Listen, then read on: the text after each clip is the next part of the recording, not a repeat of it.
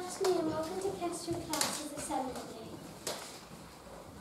We are going to start by asking if anyone here has a birthday in February. Thank you. Can you put your hand up if your birthday is on the 7th of February? Now you share a, your birthday with a very and our assembly is going to be about him. See if you can work out who he is. He is a famous writer and author. Lots of his stories have been made into films, television serials and musicals. Any ideas? Sadie. Rothwell? No. Dougal? William Shakespeare. No. Meadow. Lewis Carroll? No. Let's help you out. Here, here he is to tell you about one of his most famous characters from perhaps the most famous Christmas story ever written.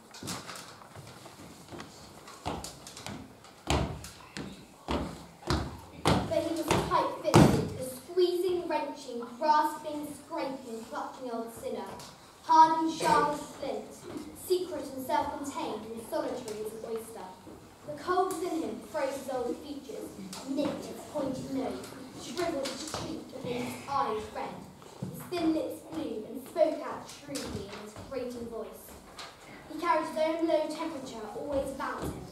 Ice in office and didn't thaw it one degree at Christmas. No warmth could warm, no wintry weather chill him. No wind that blew was bitterer than he. Bah humbug! What are all you do, children doing smiling? I hate children having fun, I hate fun, and most of all, I hate Christmas. Well, we love Christmas and we think you're a grumpy old man, Ebenezer.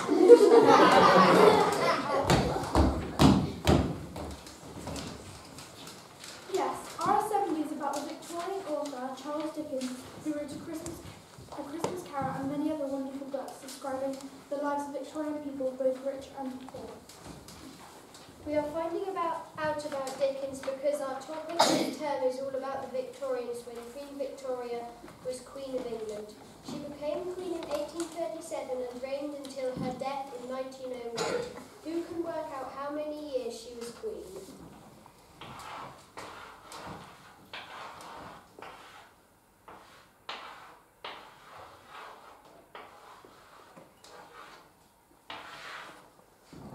Please, sir, I need some help. Yes, she was Queen for 64 years and until recently held the record for being our longest reigning monarch. Please, sir, what's a monarch? A monarch is a queen or king who reigns or rules a country. Our present queen, Queen Elizabeth II, became the longest reigning British monarch on the 9th of September 2015 when she surpassed the reign of her great-great-grandmother Victoria. On the 6th of February 2017, she became the first British monarch to celebrate a Sapphire Jubilee, commemorating 65 years on the throne. She has now been queen for a staggering 67 years. The Victorian age was a time of great inventions and wonderful changes to society. The camera was invented.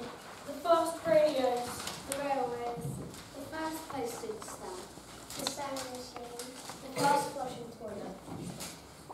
It was also a time when authors wrote books about the lives of ordinary people. Before then, most stories were only written about rich people. Charles Dickens changed that. His books were full of wonderful characters from all walks of life.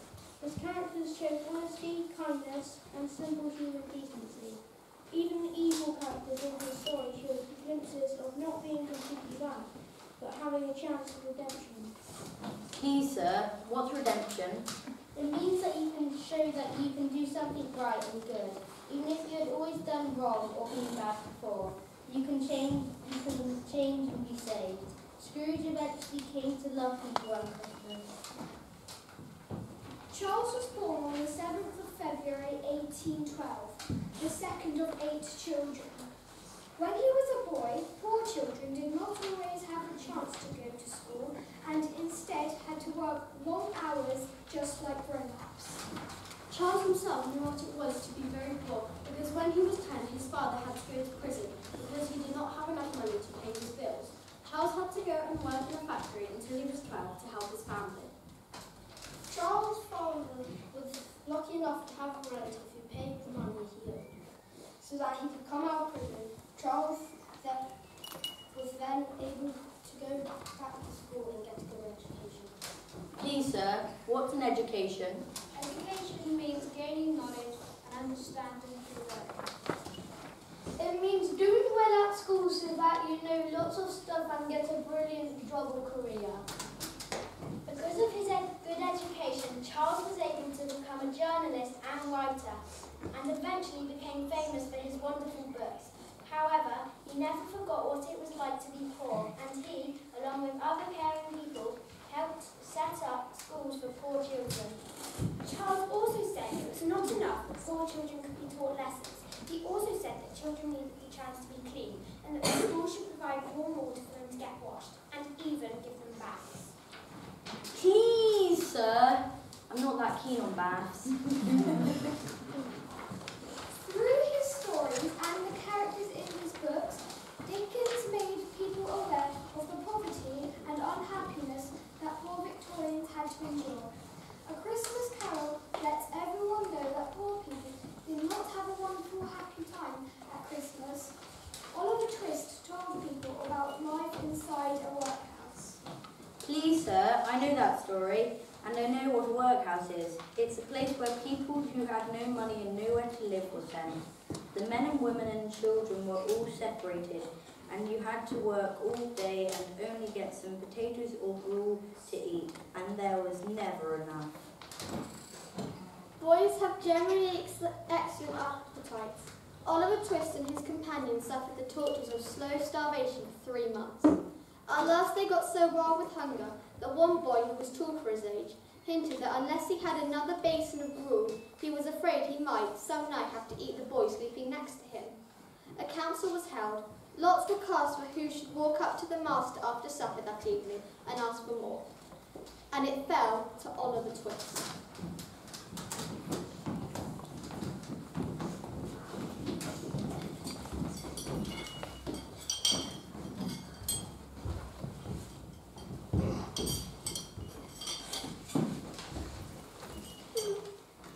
The evening arrived.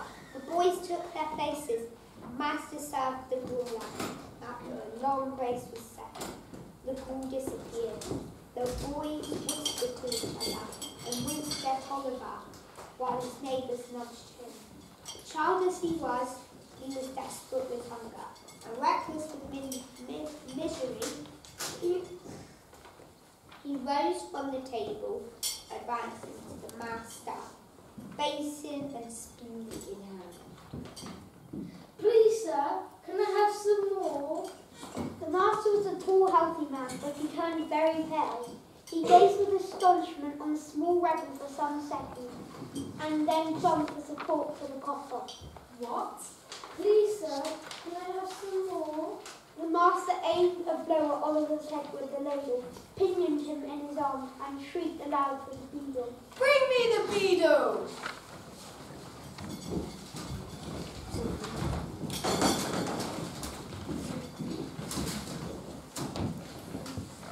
Poor Victorians had, hard lives and poor children worked long hours in factories and mines on farms with servants. Some unlucky children worked as chimney sweeps where they were lowered inside chimneys to scrape and brush away the soot. Some boys got stuck and died. Thankfully, in 1832, using boys to sweep chimneys were, was forbidden by law.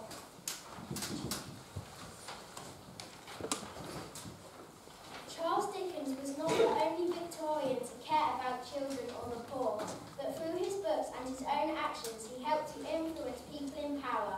He was someone who helped to make the world a better place. Thank you for listening to our assembly.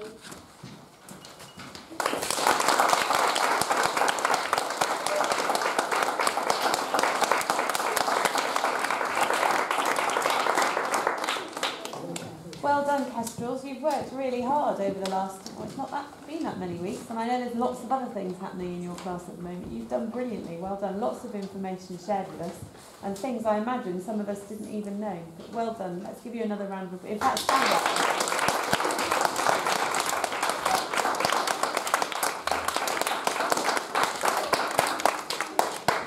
Well done.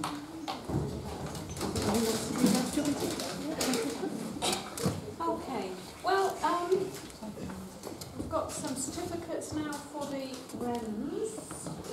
Um, first one, I'm delighted to give this out. This is for Aidan Hamilton for really trying hard with his handwriting. It's a challenge, Aidan, isn't it? But really trying there. And this one to Freya Wilson for thinking hard about her word choices in writing. And Miss Rogerson will be pleased about this one. This is for Archie Smith for excellent helping with organising the Chromebooks. Future Oh. digital leader here, I Oh, think. well done. Potentially. Uh, to Cara Harding for beginning to use the apostrophe independently. And the last of these is for Annie McGee for super problem solving in maths. Well done, you. Gosh, I did that. Well done. Good girl. Okay, that's of the bands. Got them in the uh, descending order today. So the first one is Jacob, first place for year three, please. Well done, Jacob. Good boy. And first place for year four is William.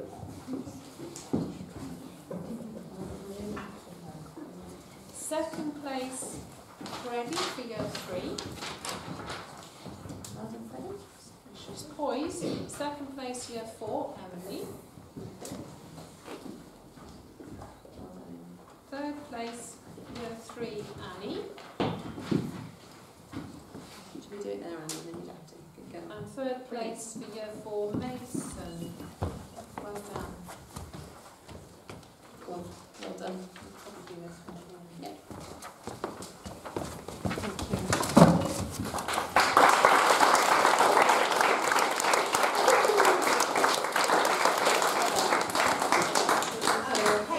Again today. So this is for a young lady who just has an absolutely super attitude no matter what we are doing in class, and that is Isabel Burgess.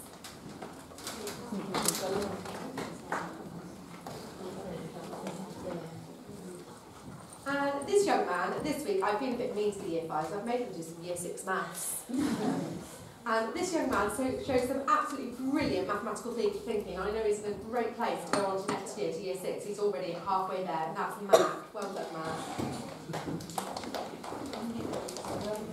And then for this young lady, it's just super attitude to all aspects of school life, even when she gets hit in the face. Won't give that. Let's give it up.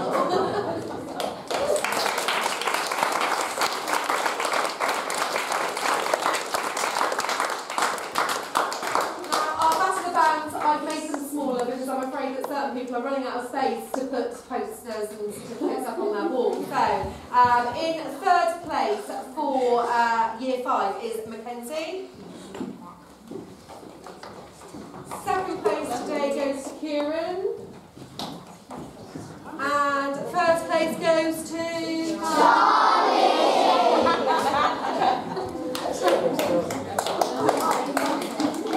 And in year six, third place goes to Cuba. Second place to Louis. And first place to Finley.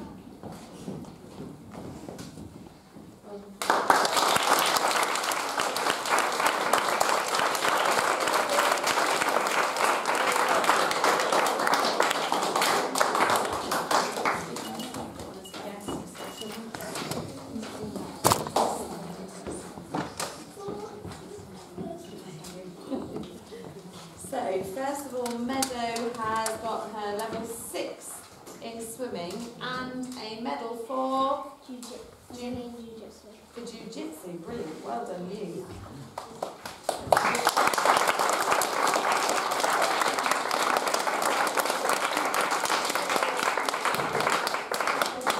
Student in the week jiu-jitsu, well done. And Jemina, Somerset under 12. Oh, league win- winners. Brilliant. Fabulous. Well done you. Galvington Netball Club. Well.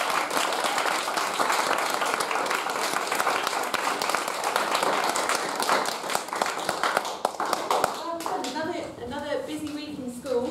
It seems very strange with only half of, half of you here. Good job. You were able to spread out a little bit more and share your assembly. Thank you for coming and sharing with us. I don't think there's anything that we need to share with anyone? No. So ready for next week. Go well and safely. Go.